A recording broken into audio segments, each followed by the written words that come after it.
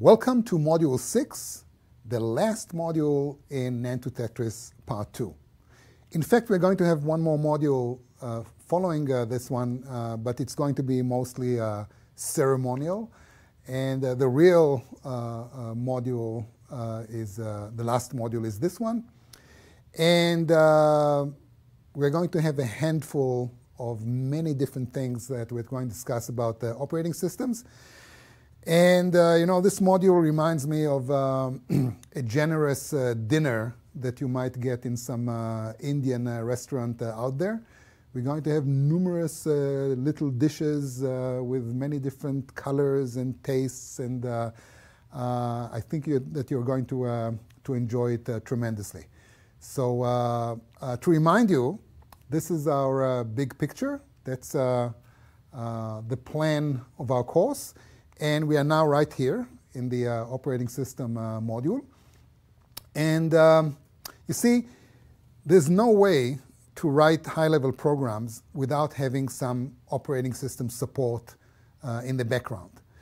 And uh, the goal of the operating system is to close many gaps that exist between your high-level programming and the bare-bone hardware on which your programs are supposed to execute.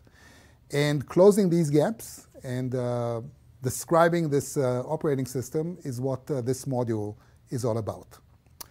Now, uh, there are numerous operating systems uh, out there, and here are the uh, icons of those that are better known. And here's another operating system which is less known yet, and that's the operating system that we're going to develop in this module, the Jack operating system. Now, uh, why do we need operating systems to begin with? Well, take a look at this piece of uh, high-level code uh, written in Jack, and if you will do so, you will see that there are many uh, uh, calls in this uh, code to methods that don't exist in this class, and presumably they exist in some other classes like keyboard, output, math, and these classes are, in fact, uh, uh, they belong to the standard class library that accompanies the Jack language. Now, this is not something that we invented. Every modern high language comes uh, equipped with a standard library that supports it. This is true for Java, for C Sharp, for Python, for C++, of course.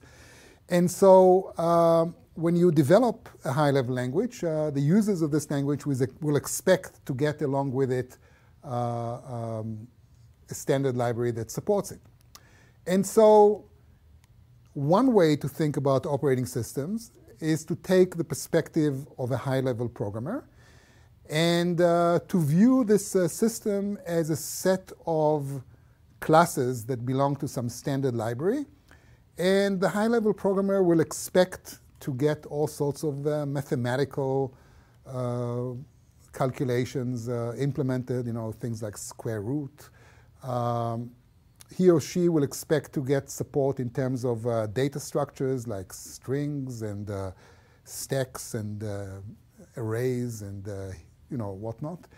Um, the programmer will expect to be able to interact with a the input devices like keyboard and mouse and uh, perhaps microphone in some high level and abstract and convenient way. Uh, likewise, uh, uh, programmers would expect to be able to write on the screen, whether it's text or graphics, using uh, some convenient uh, APIs and interfaces. So, as developers of operating systems, we have the obligation to support all these necessary abstractions. Now, in addition, the operating system is supposed to deliver all sorts of uh, system-oriented uh, services, which are uh, presumably more kind of low level than what we discussed here. Uh, first of all, we have to be able to uh, manage the uh, host memory, and I'm talking now about the RAM. otherwise, you know, we won't be able to, to help the compiler create new objects and new arrays whenever uh, uh, the high-level programmer uh, wants to do that. And if we have mass storage, disks, uh, you know, either um, hard disks or flash memory or whatnot. Well, we have to uh, manage uh, uh, this storage also. And in order to do this, we also need some file system abstraction. we'll have to support at least files and hopefully also folders and subfolders and so on, you know, all the stuff that people typically take for granted which is obviously just an abstraction that someone has to, uh, uh, to realize. We'll need to um, develop all sorts of drivers, which are programs that uh, uh you know, serve to uh, mitigate between the high-level programs and the low-level uh, peripheral devices that you know, include things like the keyboard and the screen and uh, the mouse and you know all sorts of other devices, uh, plotter or you know, whatever printer, you know everything that you want to connect to your computer has to be managed uh, somehow. Uh, obviously, you will need to be able to talk to this computer, and so uh, someone has to realize things like uh, shells and a windowing system. And you know, a lot of people want to be able to um, uh, to do many things at the same time, right? I mean, every one of you uh, probably uh, is used to uh, write emails and chat and uh, blog and write talkbacks and post various methods, messages. And people today are fond of doing all these things at the same time. I don't understand how. But in order to do this, you know, we need to equip our computer with the ability to multitask and run several programs at the same time. And uh, no uh, man and uh, woman today uh, is an island, and uh, we expect our computers to interact with uh, all the other computers in the world through some network. And for this, we have to have some software that mitigates and control this, this communications. And once we have communications, we also have to worry about security. So we have to support all these uh, services. Someone has to support it. And this uh, mighty someone is the operating system. And so, as you can see, writing an operating system is a gigantic uh, undertaking. And uh, in this course, in NAND to Tetris, uh, which is just you know one humble little course, uh, we are not going to develop a full-blown operating system, but we'll develop a sufficiently interesting and uh, challenging uh, system that will, will, include, first of all, all the stuff that you see here on the left-hand side. So all the language extensions will be developed. We'll also develop um, the memory management part of the system services.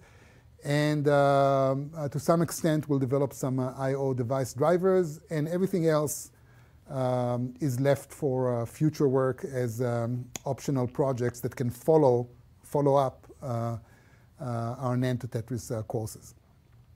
All right, so here is our Jack operating system in all its glory. It consists of eight classes, and uh, let me go through every one of them uh, briefly. The math class provides uh, all sorts of mathematical operations. So Java's math class, um, I think, features something like 60 or 70 mathematical functions although many of these functions are overloaded, so actually it's less. Uh, well, we offer uh, this uh, selection, and obviously we can add more if we want. Uh, then we'll have a memory uh, class, which is, uh, this class is actually classical because it contains some fundamental operations which exist in any operating system out there, peek, poke, alloc, dealloc, and presumably these words mean nothing uh, and that's perfectly okay. They will mean a lot in a short while. Uh, we're going to provide a class that allows you to draw graphics on the screen, lines, circles, some uh, polygons, uh, and uh, we'll use this extensively in. Uh, actually, we used it. We used it already in some of our projects before. And uh, we'll have another uh, class that we used extensively, output, in order to write text on the screen. Uh, then we'll have a keyboard class with which uh, we can interact with a user who uses uh, his or her keyboard out there. Uh, we'll have a string processing class, very similar to Java's string class and to the one which is used in C Sharp. So we'll have to develop all these um, capabilities. Uh, then we'll have an array class, which is somewhat unique to Jack because um, in Jack, uh, arrays are not a primitive part of the language as they are in some uh, other languages. Uh, rather, we decided to implement arrays uh, using our operating system. And um, by doing this, the arrays become very similar to objects. And in fact, that's also what happens in Java and in C Sharp, but uh, we don't have time to get into it. It is hidden from the high-level programmer. And uh, finally, we'll have a sys class uh, that uh, includes some uh, useful uh, services, and that's it. You know, this is our operating system. As you may know, uh, there are people who make a living from developing operating systems. And these people basically fall into two categories. First of all, they are theoreticians, you know, people who are experts in algorithms and data structures.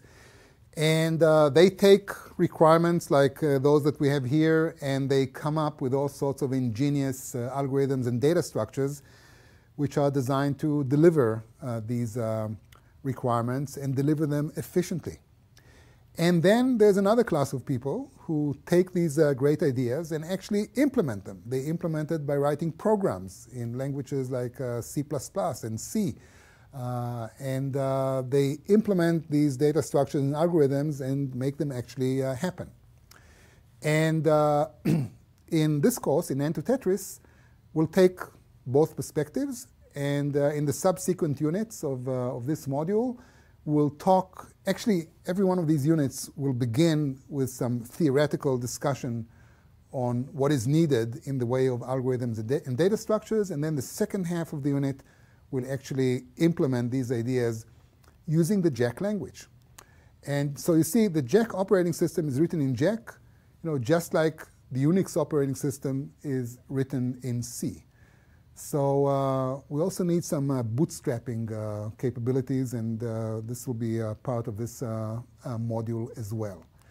So there are many take-home lessons in this module. I've written only a few of them.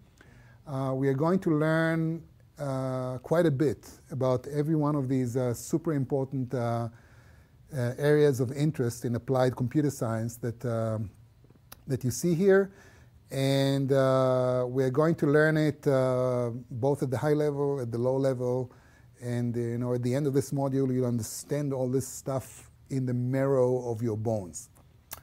And uh, how are we going to do it? Well, uh, this module is a great opportunity for uh, Noam and myself to introduce you to some beautiful algorithms that uh, are designed to manage uh, resources and uh, you know, draw graphics on the screen and so on.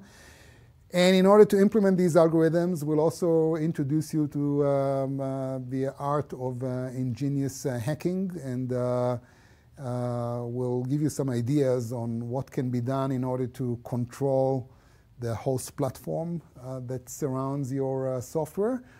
And of course, we're going to give you numerous implementation tips on uh, how to actually build it uh, using all the tools that are available to us. So that's the plan. And uh, before we, um, we end this unit, I'd like to say just a few words about efficiency. So far in this course, we allowed ourselves to be kind of uh, blasé I think is the right word, and uh, uh, slack about uh, efficiency. We didn't worry too much about efficiency. We just wanted things to work, and we didn't care if they were quick or slow or, or whatnot. when it comes to developing operating systems, efficiency is critically important because the algorithms that we develop are going to serve everything that we do on top of these algorithms. So if someone doesn't work uh, sufficiently uh, uh, fast, then all the application programs that are going to run on top of this service are going to become sluggish. And uh, vice versa. If you manage to optimize something at the low level, then everyone on top of it is going to, uh, to treat you like, uh, like a big hero. And so um, when it comes to OS, uh, we can no longer afford uh, this uh, bliss of uh, ignorance in terms of efficiency, and we have to be very clever about how the programs are going to operate. So that's what we're going to pick up beginning with the next unit.